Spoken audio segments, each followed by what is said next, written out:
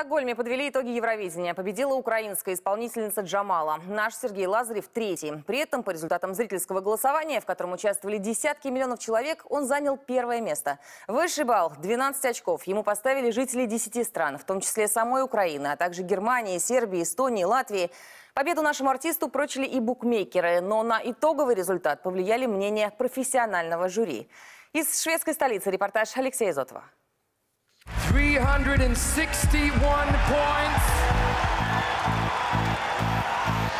361 балл от телезрителей Европы. Больше, чем у кого бы то ни было. Результаты голосования за Россию ведущие объявляют в самом конце. Это значит, что люди, сидевшие у экранов, отдали свои голоса Сергею Лазареву и его песне. Но в результате математического сложения их выбора с голосами невидимых экспертов на первое место вышла украинская певица Джамала.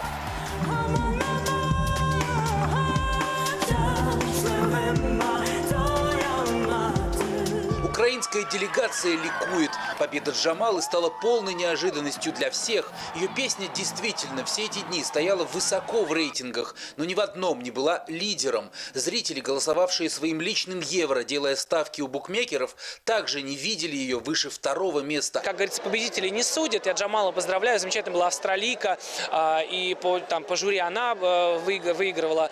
Вот. Ну, я счастлив, что зрители проголосовали э, за, за Россию, за мою песню, за наш номер. Так что, в общем, э, у меня никакого расстройства, честно говоря, нет.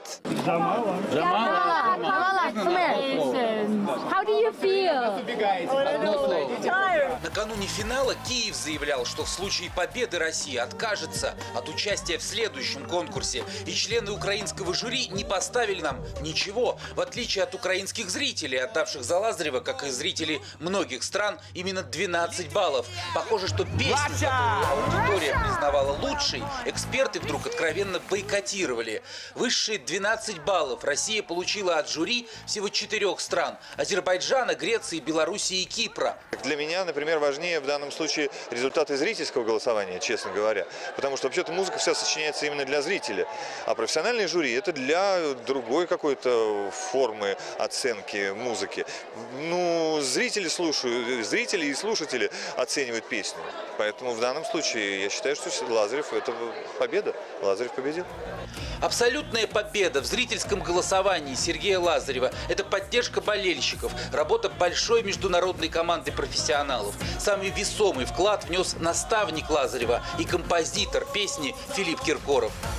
Вот Это всего а, легкой руки такие я приехал на Евровидение, потому что если бы не Филипп, э, я бы э, никогда бы Не- не эту ощутила. аферу да, не, не попал и не пустил бы в свой организм такое количество адреналина. Результат налицо, и Хороший. сегодня за страну было не стыдно, я думаю. И мы очень рады, что его песня э, в чартах во всей Европе, на первых местах. Все эти полгода об этой песне говорили. Для Лазарева это еще и победа над собой. Полгода упорных репетиций, обморок прямо на сцене. А на первой же репетиции в Стокгольме он упал прямо с декорации. Номер России в этот раз считался самым опасным и впечатляющим за всю историю Евровидения. Фанаты конкурса собираются перед финалом еще за два часа до начала шоу. Флаги 42 стран-участниц, яркий макияж и невероятные костюмы.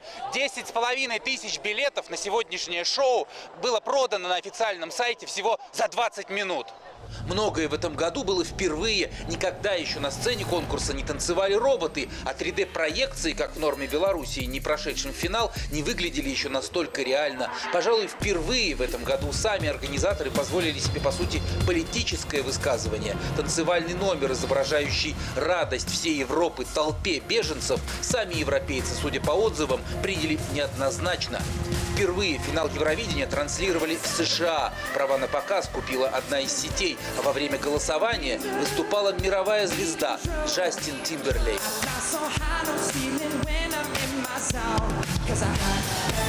Нынешний конкурс обошелся Швеции в 20 миллионов долларов. Прошлогодний в Копенгагене стоил 60 миллионов. По правилам конкурса следующее Евровидение должна принять Украина. Но готов ли Киев выложить такие деньги, пока большой вопрос. Алексей Зотов, Илья Марин, Юлия Заграничная, Первый канал, Стокгольм, Швеция.